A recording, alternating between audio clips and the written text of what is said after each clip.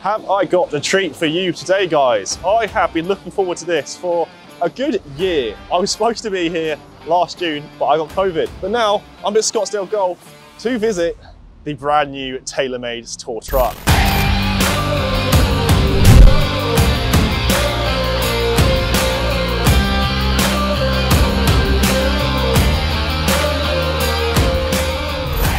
Right, so this is Adam, the experiential technician at TaylorMade. Adam, talk me through the TaylorMade truck, what you guys do on tour and all the goodies that you have. So a normal week on tour, as you can see Alex, these drawers here, they would contain the hybrid clubs. So this year we'd open it up, so you'd find this year's new stealth product in there. So we'd have two, three, four hybrid heads in there. So again, some of the players would come along, we'd be able to take some of the heads out, do some testing with the players, and hopefully try and get some of the players into those heads. As you can see here, we've got some left-handed left-handed draw. So your likes of uh, Bob McIntyre wow. would be, you know, testing some of these products. The MC heads, you've got high toe wedges in there, some of the sim UDI, UDIs. That's a lot of iron heads. yeah. Again, the next row down is just uh, driver head covers and wrenches.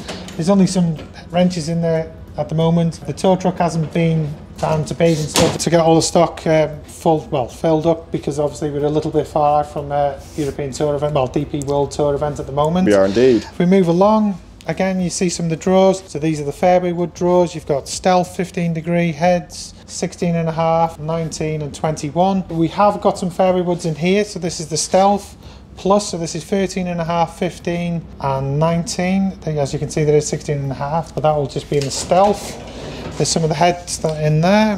Very nice. So do you carry a, a, certain amount? So will these all be full up when it's the yeah, uh, tour event? Yes, at a normal event, all yeah. these drawers would be they would be uh, full of stock. Okay, there's plenty um, there already. yeah, no, they would be uh, completely full, as you can see the numbers as well. The next row down is going to be the drivers. So as you can see, you've got stealth eight degree, you've got stealth nine degree, and stealth ten and a half. So if you open these up, the difference when fitting tour players to normal golfers on the heads as you can see there where it says nine and a half, there will be a little tolerance on the head where you'll see on the loft you'll have like maybe 9.1, 8.9 there will be a little bit the loft will be slightly different to the actual 9 degree. So what some of the fitters will do on tour will take three or four different heads so the players can do some testing. What's slightly different to fitting a normal on a normal fitting event to a tour event is uh, when you go along obviously the loft sleeve on your, your everyday golf club on the shelf with, with a driver is a two degree loft sleeve. On tour we have the ability to adjust them by one degree, so we've got a one degree loft sleeve that we can move one up and one down. And we've also got loft sleeves where we can go one and a half up and one and a half degrees oh, down, okay, interesting. which is slightly different. Yeah. So that's that's another option when we're really trying to dial in on a certain launch and also you know with shot shape as well, which is a, a little bit more in depth there. These are all the shafts that we carry for the on tour. We've got all the contracted players on the top. Uh, so you've got Dustin Johnson, Rory McIlroy, Tiger Woods' shafts are there, Tommy Fleetwood, Sam Horsfield's on that. We don't pay for any of these shafts. We get all the shafts free from all the manufacturers. Would you like me to show you Tiger Woods' shafts? Yes, Alex? please okay. do. I'm sure a lot of us so will want got, to see it.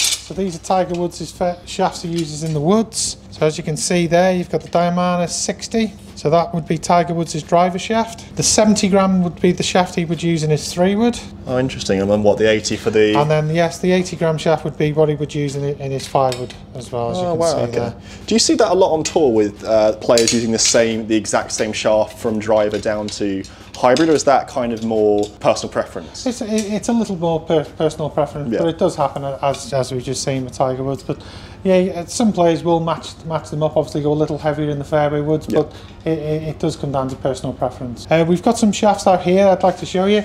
These are the most popular shafts at the moment on tour. Yes, they are. So you've got the Velocore Black uh, low launch, low spin. Yep. You've got the Velocore Blue, again mid launch, mid spin, and you've got the Velocore Red, which is um, is the, the most high launching shaft in the, in the Velocore range. I'll just run you through some of the draws that we've yes, um, please do. the wedge draws and tour. So as you can see here, first draw I'm going to open is going to be the MG3, and you've got 46, 48, 50, 52, 54, and 56 in the loft. Okay. So I open that there. Wow. So those. That's a lot of wedge heads yeah, different options for them. yeah. So we've got those. Uh, the next row down is going to be MG3 with diff diff different bands options. So you've got 58 standard, 60 standard bands, 58 low bands, and 50, MG360 low bands as well. So there, there you go. It's another drawer Wow. full of different wedges, just different bounce options. Yeah. How, um, how would, important would you say, this is a question that I always find myself coming across, how important would you say is wedge fitting for amateur golfers? Oh, it's yeah. It's, I, I would say it's a crucial part. Of Yeah. it. Uh, you know, especially in certain places where people play, it has changed the concept how people fit for wedges now. You know, compared to maybe say ten years ago, Yeah. where if you would play like a links golf course, most people would, you know, it's almost like the old school mentality would just go low bounce, just presuming. Yeah. Obviously, the ground's a lot firmer than the summer. They tend to use that, but we actually fit wedges off attack angle. So, certain attack angle determines the bounce of the golf club. So, Okay. if someone's very shallow through the ball, we tend to put them in low bounce. If someone, you know, the certain numbers we're looking for between say five and eight, we tend to put them in attack angle. We, we put them standard bounce. If someone's very steep, then you know you need to use high bounce in the wedges. And another good way of, of fitting wedges is always build the first wedge in your bag, maybe a 50 or a 52, the exact same makeup as the rest of the um, your irons. So if you're one degree up in your irons, Yeah. um, always make like you- your 50 degree the same that way, and also use the same the same shaft that's in the in your normal irons. And then you tend to go a little softer into the 56 if it's the a 52 is the first wedge in, and again a little softer in the shaft in, in the 16, and just try and just uh, flatten the lie angle. Great advice, really good advice. Next drawer again, we've got some high toe wedges. So there's a lot to choose from from the top players, isn't there? Yeah, some of the, yeah, a some lot of to choose players from. are a little bit picky than others. I'm Uh, not, I'm not surprised. You've got, again the next row down high high toe with just different bounce options Yeah. there. Standing low, we'll just open that one for you. Who would you who would you recommend high toe wedges to? The high toe in the, in the lob wedge is uh, very popular on tour. Reason being, obviously, with the grooves now going all the way across the face, that's going to give the player so much more feel because the ball's going to obviously there's more grooves, so the ball will stay on the face a lot longer. So it's going to give them optimum spin. Yeah. So that's that's a great option. So some of the players on tour tend to change their wedges quite often. Uh, Rory McIlroy tends to t- change his between every two to three events. Um, Really? Yeah, he'll change his wedges that often. the norm on tours every somewhere between four to five weeks they'll tend to change. Okay. Uh, when Jason Day was a contracted player, he would he was an exception. He would change every three to four months. Okay. Because he used to like like to bed the grip in. See also where he was striking Yeah. the strike marks on the face. But yeah, McIlroy will change his wedges every two to three weeks. Wow. Is that purely just so they can make sure it's got the highest quality Yeah, performance just every obviously time? McIlroy's a lot more aggressive than your average golfer. Yeah. He hits a lot more drivers. He's going in with a lot more wet, you know, short iron. So he needs to get the you know the optimum spin that he can on it. With Of course. that, that a new wedge will give him. yeah. The next roll down, it's got some long irons in it. Uh, we've still got some of the, the gappers in there because we, we all know some players have got like a trusty club that they Yes. like and hence to be gapper. This is quite quite cool. I'll show you. We've actually got a 772 iron head, which is No only, way. which is only for tour only. I haven't seen that before A at lot all. of players on tour like using the Look at that. 770. Obviously, there's less offset than the 790, and it's a, Yeah, a lot thinner profile on the top.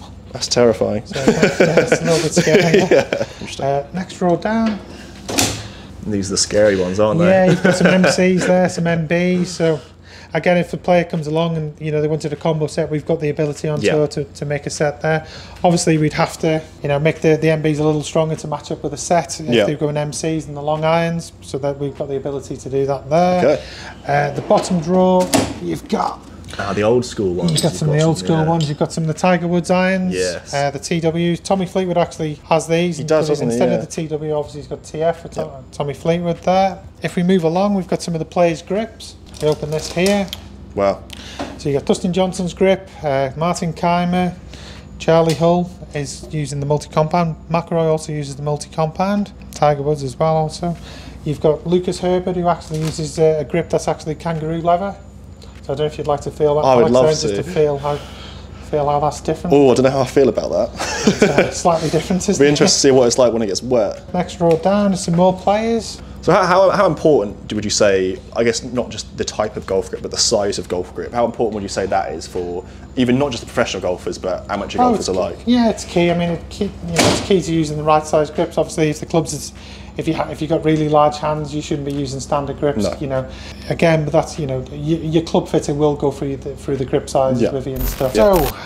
This is uh, where players each week will come and collect their golf balls from and their caps and uh, some of their gloves. There's quite a cool story for you. Each contracted player that uses the TaylorMade ball who actually wins an event gets to choose a number. Uh, we brought this in a few years back, and at the time, Dustin Johnson was world number one, and obviously he won an event, and he chose the number one golf ball. Quite a funny story. A few years later, Rasmus Højgaard won an event and also wanted the number one, uh, but unfortunately, because Dustin Johnson had had num- the number one golf ball, Rasmus Højgaard asked to have the number zero one on his. Players like Lucas Herbert have got the number 23. He's a Michael, uh, massive Michael Jordan fan. So Matt Will's got the number 21. That's his age when he signed his contract with us. You've got some Martin Kaymer's caps in here. Well, let's take a So look you've at got those. some Hugo Boss with the TaylorMade on, flower on the back from his uh, his mother's charity Oh, wow. as well. You got some I love one of those.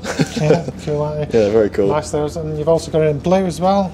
So how much stock on a, on a tour week? Would you say would this, would this be completely full up? Yes, would this say? would, yeah. yes, this would be completely full. Yeah, we've got another drawer here where we keep some some spare caps as Oh, well. wow, okay. Again, some of the caddies would take some of these. We've got Yeah. some other players' hats there as well. Got Gavin Green. There's there like the Maybach hat, Oh, cool. stuff. It's a very diverse range of all the products in terms Yeah, of the yeah, accessories department, isn't it? Yeah, but this on a normal week, this would be full, and also all the uh, all the players' Yeah. uh, individual lockers would be full as well. Yeah, good stuff. Guys, smash the like button for this video looking around the TaylorMade tour truck. Thank you very much to Scottsdale Golf for inviting us down, an amazing venue.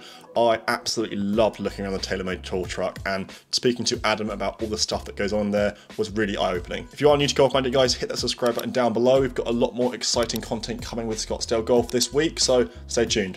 Until the next video guys, see you later.